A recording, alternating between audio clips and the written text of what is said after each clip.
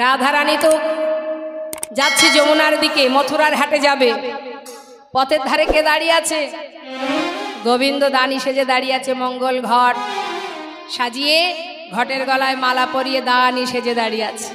আর এদিকে যেই না সখীরা আসছে দেখেছে, এমন সময় গোবিন্দ বললেন, দাঁড়াও সুন্দরী গ কোথায় যাও হে?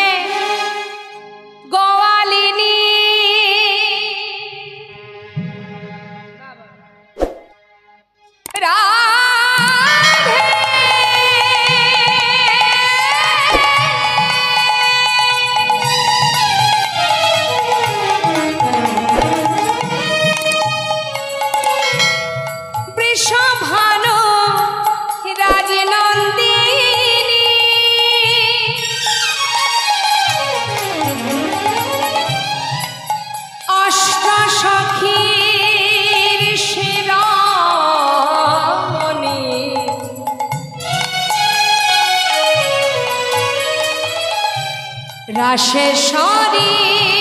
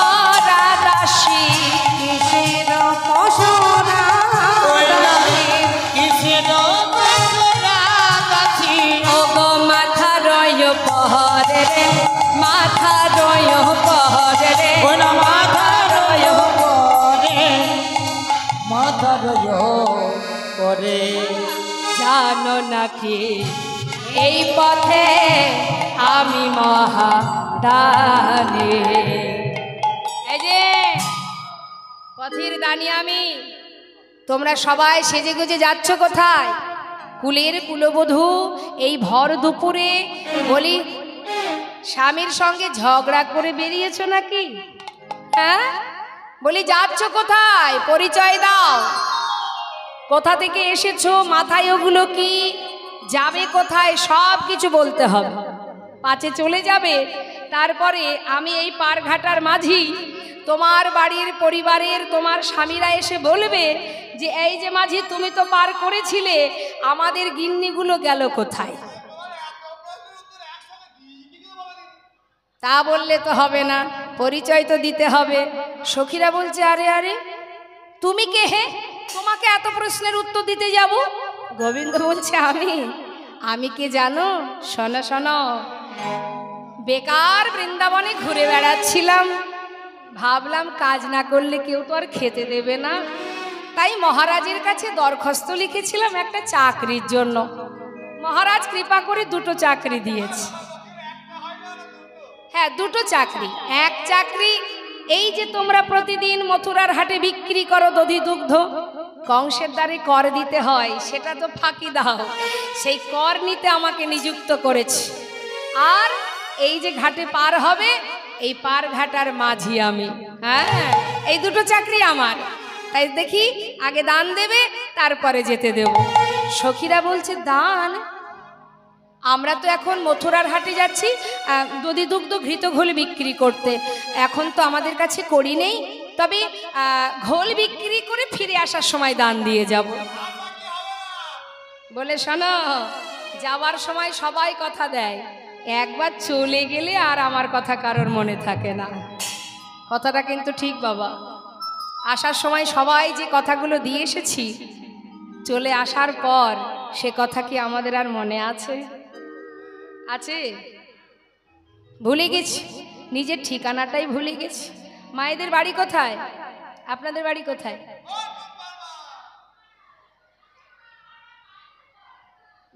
একজন বললেই হবে। চাটনি পাড়া চাঁদনি পাড়া ও জাঙ্গি পাড়া তাহলে জাঙ্গি পাড়ায় আপনার বাড়ি, তাই তো? আচ্ছা জাঙ্গি পাড়ায় কার কার বাড়ি? দেখি হাত তুলুন তো। বাবা। ও বাবা, হরি বল হরি বল। ঠিক আছে, তা এখন এখন তো জাঙ্গি পাড়ায় থাকেন, তাই না? এর আগে কোথায় ছিলেন?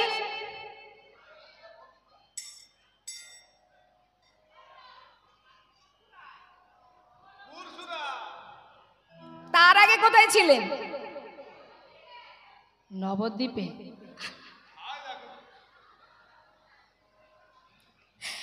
বা বাবা তার আগে কোথায় ছিলেন?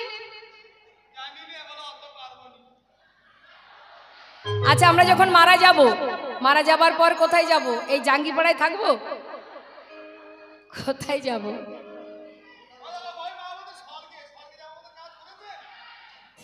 তাই গৌর হরি বল। দেখবেন, আমরা কোথা থেকে এসেছি আর কোথায় যাব সেটা আমরা জানি না। কিন্তু কেউ যদি ঠিকানা জিজ্ঞাসা করে, আমরা কি করি? আধার কার্ড দেখিয়ে দিই, তাই না? এই দেখো আমার ঠিকানা। কিন্তু মা, এটা তো আমার ঠিকানা নয়। দুদিনের জন্য আসা, চাকরি করার জন্য। কি চাকরি? কৃষ্ণের দাস আমরা। আমাদের চাকরিটা হলো তার চরণে দাসত্ব করা। তা যারা দাস দাসী হয়, তারা কি করে? মালিকের কথা মতো যা মালিক বলে, তাই করে। কাজ করা, রান্না করা, মালিকের কথা শোনা, মালিকের সেবা যত্ন করা, এটাই তো দাস দাসীদের কাজ হ্যাঁ? তা আমরা যদি দাস হব, আমাদের মালিক গোবিন্দ, তাহলে আমাদের কাজ কি? তার সেবা করা, তার কথা মতো চলা, তার দেখাশোনা করা, তার কর্ম করা। আমরা কি করি? তাহলে আমরা কি ভগবানের দাস? আমরা সবাই মায়ার দাস। নে নেতায় গৌর হরিব তাই দেখুন, আমরা আমাদের ঠিকানা ভুলে গেছি। হ্যাঁ? কোথা থেকে এসেছি, যাব কোথায়? সে ঠিকানাটা নেই। তাই তো আজ গোবিন্দ বলছে, চলে গেলে আমার কথা কারোর মনে থাকে না। তাই আজ আর যেতে দেব না। আগে দান দেবে, তারপরে যেতে দেব। সখীরা পড়েছে বিপদে। কি জ্বালা, কি দেব দেখি? এখন তো দান যোগ্য বস্তু না অর্থাৎ আমাদের কাছে এখন কিছু নেই, দিতে পারব না। গোবিন্দ বললেন, তাহলে এক কাজ করো। কড়ি যদি দিতে না পারো মাথায় যেগুলো নিয়ে যাচ্ছ মথুরার হাটে, এগুলোই না হয় মহারাজকে আমি দিয়ে দেব, এগুলো দিয়ে যাও। এই বলে যত সখীদের কাছে গোবিন্দ এগিয়ে যাচ্ছে, সখীরা বলছে, আরে আরে আরে আরে কি হলো?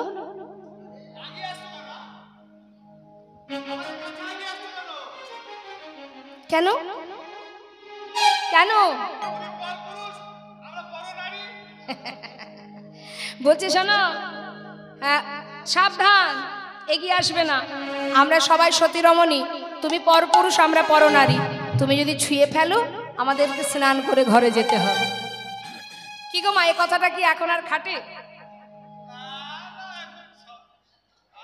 নিতাই গৌর হরি বলছে, শোনো শোনো, ছুঁয়ো না ছুঁয়ো না নীলা জোগানা আমরা পরের নারী।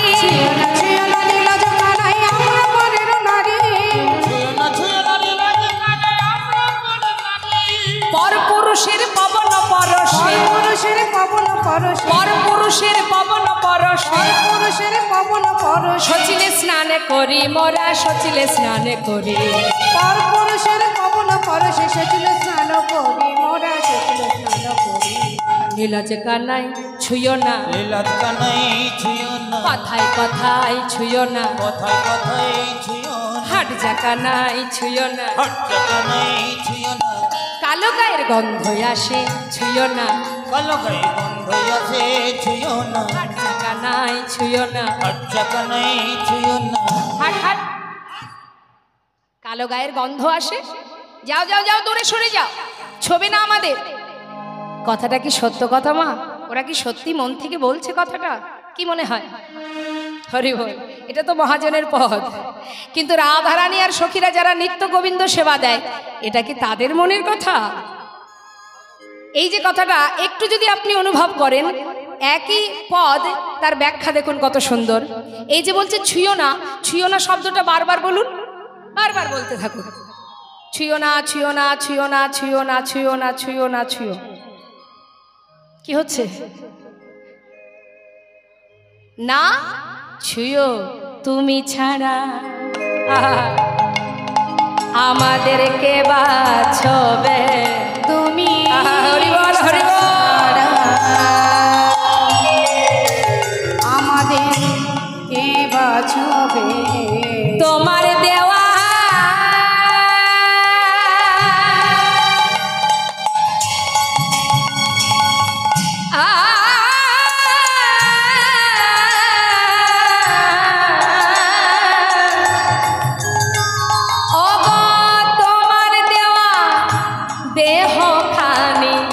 বলো তুমি ছাড়া কে বাছবে তোমার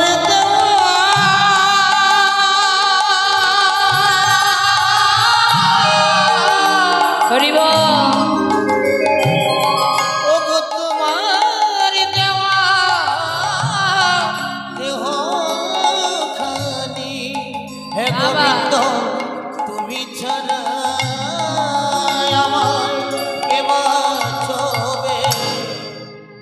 কথা কি বললেন?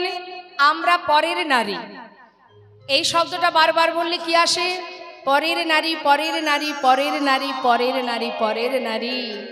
আমরা যুগে যুগে, শুধু তোমারই যুগে যুগে। শুধু তোমারই। আমরা পর নারী পর নারী আমরা পরের নই যুগে যুগে শুধু পরনারী যুগে যুগে শুধু তোমারই। এটা তো শুধুমাত্র অন্তরের কথা। আর মুখে বলছে শোনো ছুতে যদি হয় আমাদের রাধারানী রাধারানীকে ছুতে গেলে তোমাকে সাধনা করতে হবে। গিরি গিয়া যদি গৌরী আরাধনে পান করো কনক ধুমে কাম সাগরে কামনা করো হবে নিবদরিকাশ্রমে। সরজয়ী উপর আগে সহস্র সুন্দরী, যদি ব্রাহ্মণ করহ সাত তবু হবে নাহি তোমার শকত রায় অঙ্গে দিতে হাত। গোবিন্দ দাসের বচন মানহ না করো এমন ঢঙ্গ, জয় নাগরী অরস নাগরী, করহ তা কর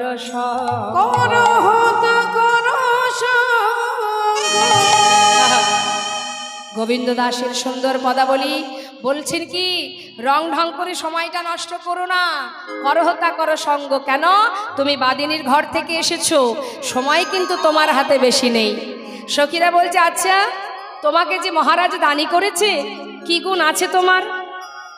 কোনো পুরুষের যদি গুণ না থাকে, তাকে কোনো কাজে লাগে না, কেউ ভালোবাসে? কি গো মা, ভালোবাসবে? যে ছেলের কোনো গুণ নেই, তাকে কেউ ভালোবাসবে?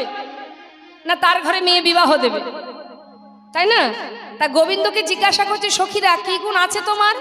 যে মহারাজ দুটো দুটো চাকরি দিয়েছে। গোবিন্দ বলছে, সে কি কথা? আমার আবার গুণ নেই? হ্যাঁ? বলে, আছে গুণ, কিন্তু একটাও ভালো গুণ নয়। কথায় আছে, স্বনামে পুরুষ ধন্য, পিতৃ নামে চ মধ্যম, শ্বশুরের নামে যে বিলায় সে হলো অধম। স্ত্রীর নামে যে বিলায়, সে হলো অধম মানে স্বনামে পুরুষ ধন্য। যে পুরুষ নিজের ক্ষমতায় সবার কাছে পরিচিত থাকেন, তিনি হচ্ছেন উত্তম পুরুষ। আর যিনি পিতার পরিচয়ে পরিচিত থাকেন মানে বাবাকে সবাই চেনে, ছেলেকে চেনে না। এখন বাবার টাকায় গাড়ি নিয়ে, বাবার পোশাক মানে ঘড়ি পরে বাবার জোর টাই শুট বুট পরে এমনভাবে যাবে যেন মনে হবে শহরের মালিক। কিন্তু বাবা, সব তার পিছনে বাবাই সব। তা বাবার পরিচয়ে যে ছেলে পরিচিত, তিনি হচ্ছেন মধ্যম পুরুষ। আর যিনি শ্বশুরের পরিচয়ে পরিচিত মানে যাকে বলে ঘর জামাই, তাকে বলা হয় অধম পুরুষ। আর যিনি স্ত্রীর পরিচয়ে পরিচিত মানে ধরো স্ত্রীকে সবাই চেনে। ধরো মনে করো এই রাস্তা দিয়ে কোনো একজন ভদ্রলোক যাচ্ছে। আমি হয়তো জিজ্ঞাসা করলাম, দাদা, ওই ভদ্রলোকটিকে ওনাকে তো আগে দেখিনি। আপনি আমাকে বললেন যে, চিনতে পারছ না? অমুক দিদিমণির স্বামী। তার মানে কি? দিদিমণিকে সবাই চেনে দাদা বাবুকে চেনে না। ওই দিদিমণির পরিচয়ে দাদাবাবু পরিচিত। তিনি হচ্ছেন অধম অধম পুরুষ। শ্যামনাগর কি গুণ আছে তোমার? বলো বলো, কোন গুণে? বলো বলো, কোন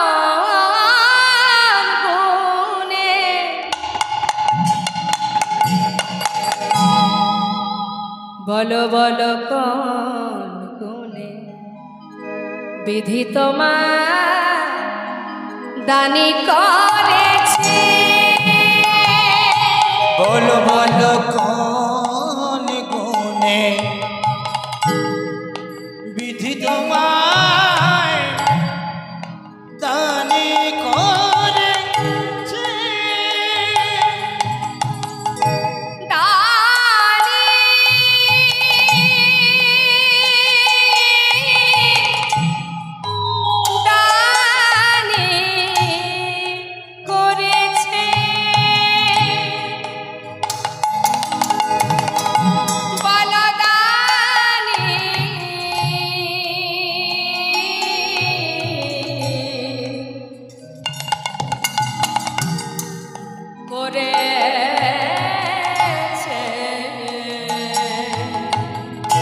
বলদানি।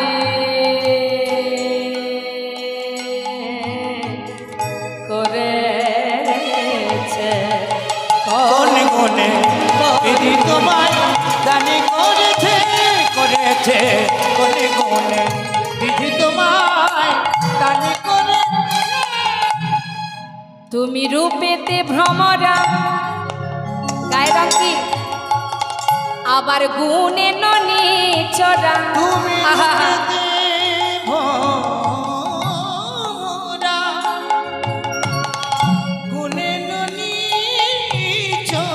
ধানেতে ধবলি বসতি গাছে। বলো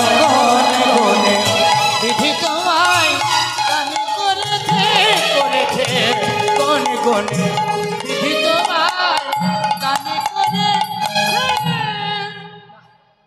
করলেন মা? রূপেতে ভ্রমরা গুণে ননিচোরা ধনে ধবলি বসতি গাছ।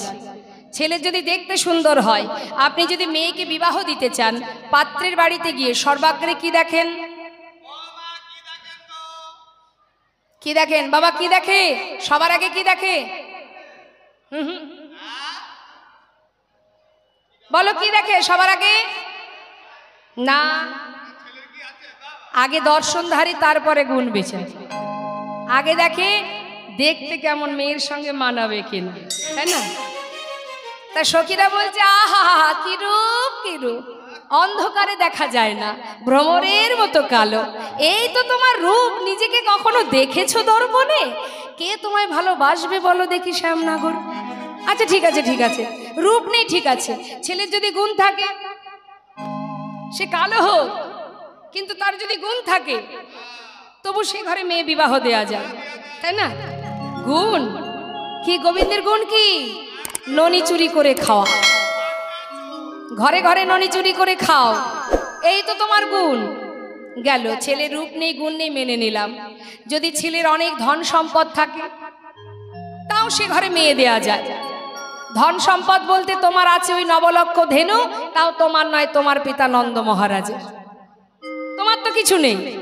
ঠিক আছে, এটাও মেনে নিল। যদি বসতি ভালো হতো, থাকার জায়গা, বিশাল অট্টালিকা যদি হতো, সে ঘরে মেয়ে বিবাহ দেয়া যায়। বসতি? আহা, কোথায় থাকে গোবিন্দ সর্বক্ষণ? কদম গাছের ডালে। হ্যাঁ কে তোমায় ভালোবাসবে বলো? তাই সাবধান, বামন হয়ে আমাদের চাঁদের হাত দিতে যেও না, রাধারানী হলো চাঁদ। হইয়া বামন।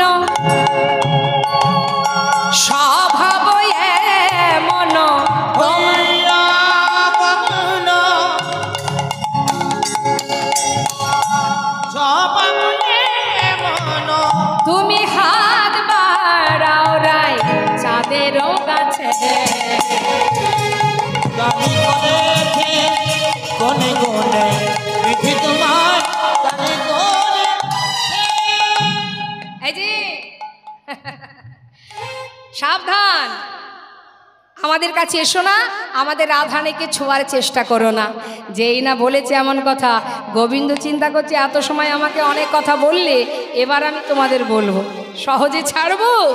শোনা, সুন্দরী, আমার দেখতে ভালো না, গায়ের রং কালো, সেই থেকে অনেক কথাই তো বললে। তা এবার আমি একটু বলি? তুমি আবার কি বলবে? আছে গো, আছে। শোনো তাহলে। কালো কালো করোনা। ও গোয়ালার ঝি।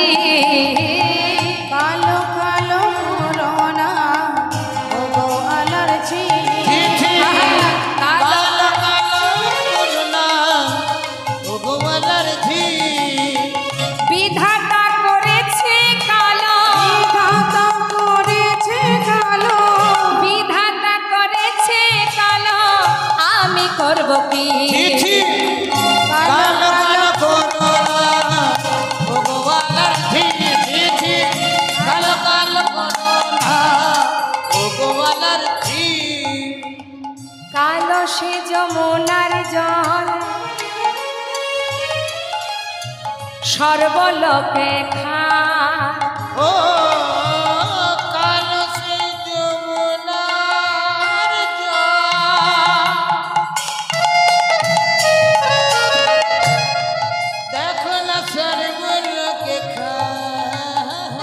আবার কালো মেঘে বৃষ্টি জগত জোড়ায় কালো মেঘে। হরিবল হরিবল দায় গৌর হরিবল চিঠি কালো কালো ভগবানের চিঠি কালো কালো করোনা ভগবানের ধি শোনো যারা কালো হয় তাদের অঙ্গের যদি বরাবরই একই রকমই রয়। আর যারা কটা হয় মানে ফর্সা হয় তাদের বিশ বছর থাকে, এক বিশ বছর পরে হয় গিয়ে আর। শোনো, কালো হলো জগতের আলো। এই আলোটার আলোকে নিয়ে আমরা এত খুশি কেন? না, এরপরে কালোটা আছে তাই তাই না? আশেপাশে কালো থাকলে আলোর খুব গৌরব হয়। তা বলি, সুন্দরীগণ, এই যে তোমরা ফর্সা, এই যে তোমরা ফর্সা, ফর্সাকে চলিত ভাষায় অনেকে বলে কটা, বলে না? তা সুন্দরী, শোনো শোনো কালো তোমার মাথার কেশ, কালো নয়ন তারা। পরে আছো নীল শাড়ি, চলেছ বাহু নাড়া দিয়া। কালো নিন্দা করো না। আচ্ছা মায়েরা বলুন দেখি, চোখের মনি যদি কালো না হয়ে সাদা হতো, আমাদের এই কপালে ভুরুটা যদি সাদা হতো, দেখতে কেমন লাগতো? তাহলে কালোর গুণ আছে কি না? গোবিন্দ তো কম নয়, বলছে, ও সুন্দরীগণ, বলি শোনো, কালো তোমার এই যে কালো সে নয়নের মণি সুনয়নী কয় কালো সে নয়নের মনে সুনয়নি কয় যাদের চোখের মণি কালো হয় তাদের বলে সুনয়নী মানে সুন্দর নয়ন। আর যাদের চোখের মনি কটা হয় দেখবেন অনেকের চোখের মনি কটা। একটু ঘোলা কটা বলে তাদের? সেই কটা চোখ দেখলে কি বলে তাকে? কটা চোখে দেখলে কটা চোখ দেখলে পরে? দেখুন আমাদের সখীগণকে উদ্দেশ্য করে বলছি যেহেতু সখীগণের গায়ের বরণ ফর্সা তাই তাদেরকে উদ্দেশ্য করে বলছি তোমরা তো কালো নিন্দা করছ? যাদের চোখের মনি কালো হয় তাদের সুনয়নী বলে। আর কটা চোখ দেখলে পরে কি বলে? বলুন। কটা চোখে দেখলে পরে? কটা চোখ দেখলে পরে? বিড়াল চোখ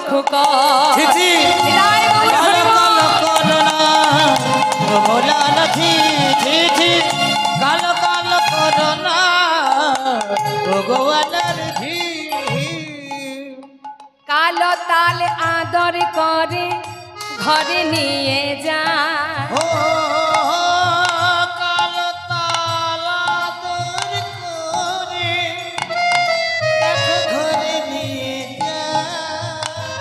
আছে কালো তাল খেতে কেমন? তাহলে যাদের গায়ের রং কালো হবে, তারা কেমন হবে? মিষ্টি হ্যাঁ হ্যাঁ। আর যদি কেউ কটা তাল কিনে আনে, কটা তাল খেয়েছেন? কটা তাল খেতে কেমন? তাহলে যারা কটা হবে, তারা? এই যে, কালো তাল আদর করে ঘরে নিয়ে যায়। কটা তাল দেখলে পরে দূরেতে ফেলায়।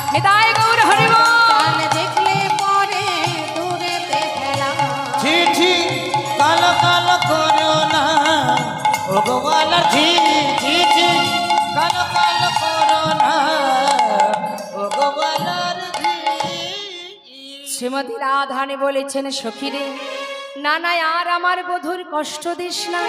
চেয়ে দেখ ঘামি আছে চাঁদে মুখ খানি যার লাগে আমাদের আশা দে দে আমায় পশরা দে, আমি আমার বধূ সেবা দি। দে সখী, পশরা দে শিগগিরি দে, আমাকে পশরা দে, যার জন্য আমার আশা, আমি তার সেবা দিই, সময় চলে গেলে আর পাবো না। দে দে পসরায়ানি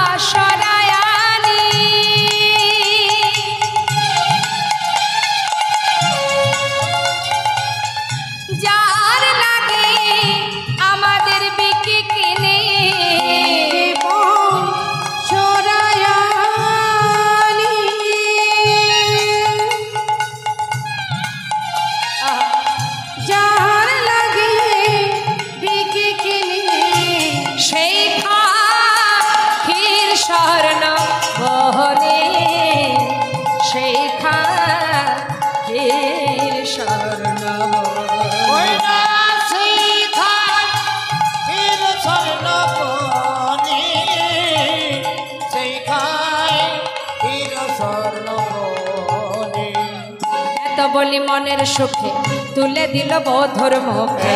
বলি মনে সুখে তুলে দিল বধুর মুখ। সখী দিল রাধার বদনে।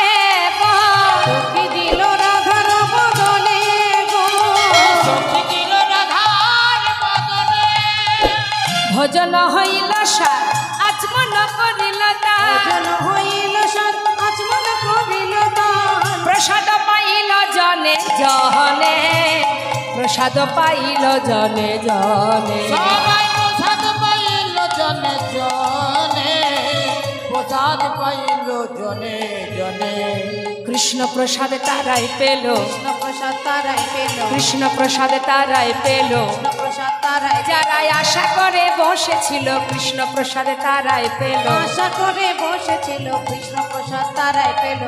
এত বলি মনের সুখে তুহু হ্যারে তুহার মুখে।